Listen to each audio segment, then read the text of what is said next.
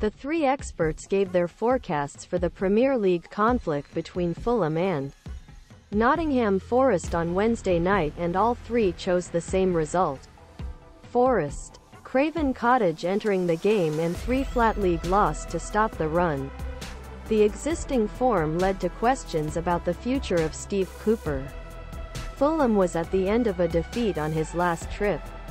In Anfield, they fell 43 against Liverpool, but Jurgen Klopp's men directed the game until 87 minutes without turning him.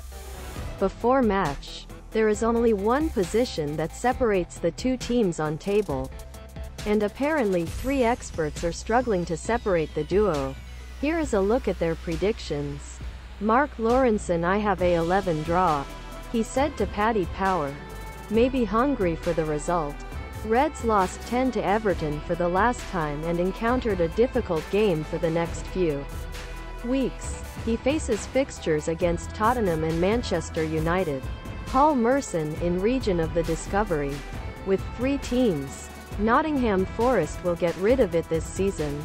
If Fulham continues to score, they will do well. I will draw in this fixture. For Nottingham Forest, three defeats and their manager Steve Cooper's noise around the future of Steve Cooper will not go until results are unjustly. What is your guess for game versus Fulham?